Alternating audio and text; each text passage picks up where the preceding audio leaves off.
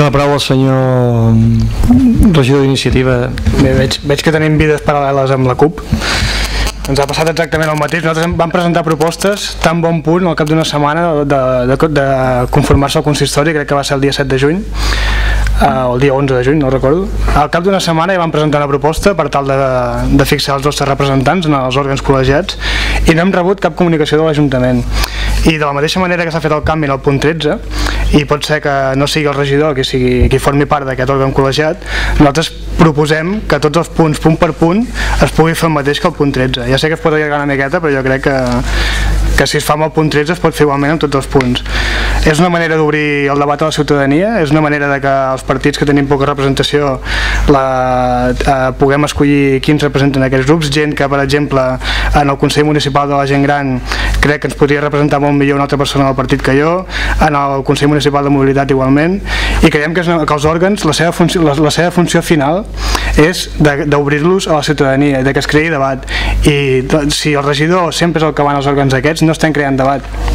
Ja sabem que fa una mica de basarda el govern, això de la participació ciutadana, però jo crec que ho hauríem de mirar de fer punt per punt, mirar de, de recapitular i fer el mateix que hem fet amb el punt 13.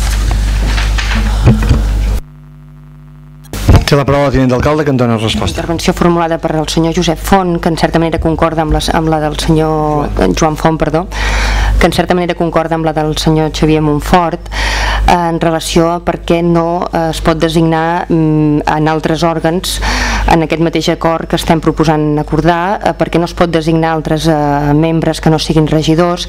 En el cas de la, la Comissió dels Horts Urbans, aquesta esmena ens ha sigut relativament fàcil d'incorporar perquè la, la, la seva pròpia reglamentació permet que per acord de ple es pugui ac- acordar en el, en el, en el mateix moment el canvi.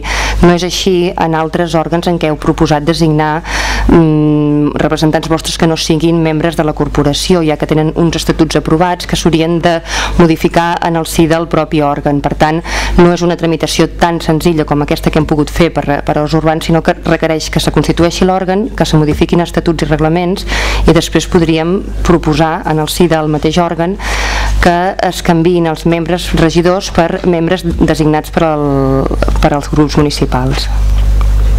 Moltes gràcies. Entenc que procedeix la votació. Perdó, hi ha una última... No, no, eh, hem No. fet els torns d'intervencions pertinents. una última resposta. Ah, si sí, permet. perdó. Sí, digui, digui.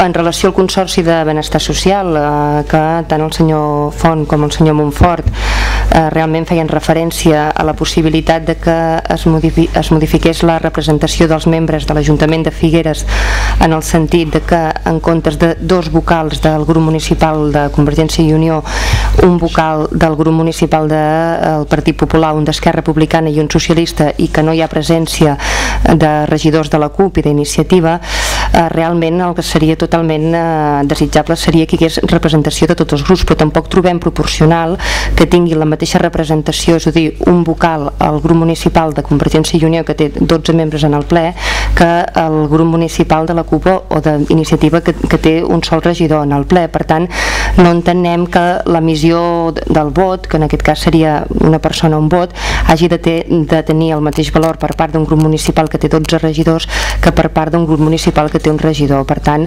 entenem totalment equilibrat la presència de dos vocals per part de Convergència i Unió i en la mesura que, que ha sigut possible pel nombre de vocals existents per als altres grups o els que resten s'ha incorporat un regidor dels següents grups que han obtingut eh, en nombre el, la major representació política en aquesta corporació.